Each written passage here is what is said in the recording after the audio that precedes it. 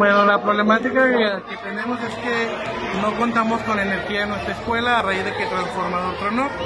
Y bueno, ya nuestra directora, la profesora María Elena Cisneros y la maestra María del Carmen, directora del Vespertino, ya hicieron sus oficios y gestiones necesarias ante la Secretaría para solicitar su apoyo.